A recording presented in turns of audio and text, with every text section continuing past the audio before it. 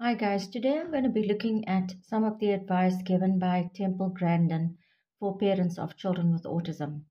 So, who is Temple Grandin and why should we value her opinions? Temple Grandin is an American academic and animal behaviorist. She is an inventor and a scientist. She is autistic. She received speech therapy from a very early age, from about two and a half years of age. She had a nanny who was hired when she was about three years old to play educational games with her. These games were played for many hours in the day.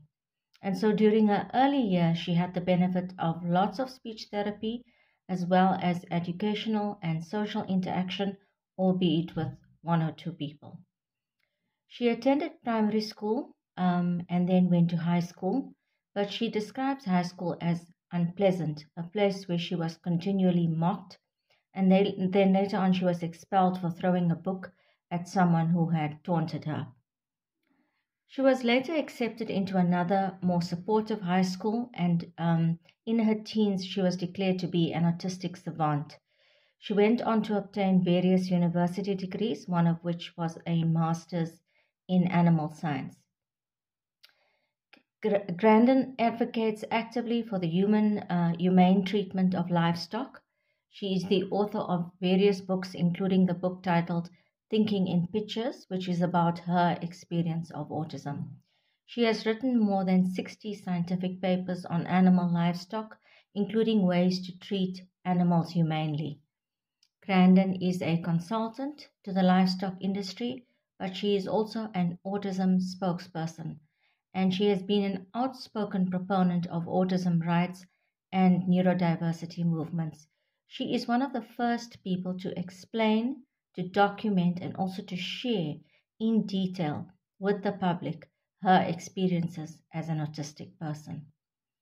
She has provided, in the words of Bernard Rimland, who is the father of an, an autistic child, an insight into autism that very few people have been able to achieve. Her life story and experiences have also been made recently uh, into a documentary, and the documentary is titled Temple Grandin. So, as a person who has lived with autism, here are some of Grandin's key areas of advice um, that she has shared for parents. And I'm now quoting her directly.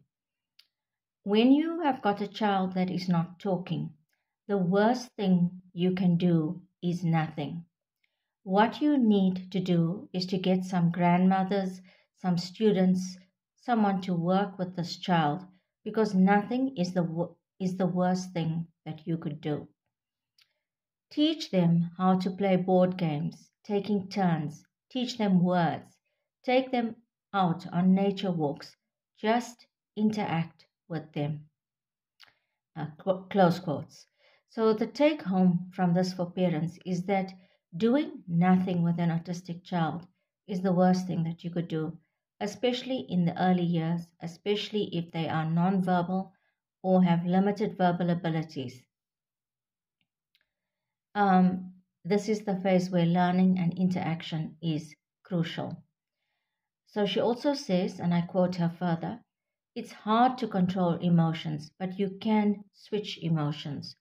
Autistic children have got to learn to be polite, shaking hands, not interrupting, not telling people off. And the take home that we as parents get from this is that what worked for her as an autistic person was to learn the social norms, to accept them, and to adjust to those social uh, norms and to follow the rules of normal social interaction.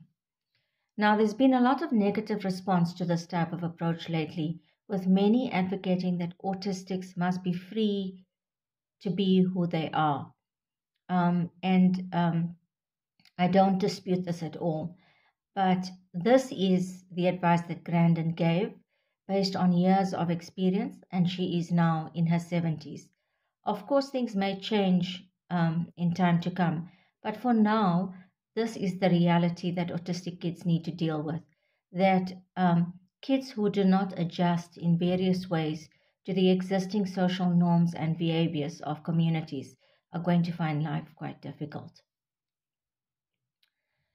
So, Grandin also stresses how important it is to help a child with autism to develop their strengths and their talents. And this means helping them to find things that they are interested in and can learn to do, building useful skills that could later become jobs or careers.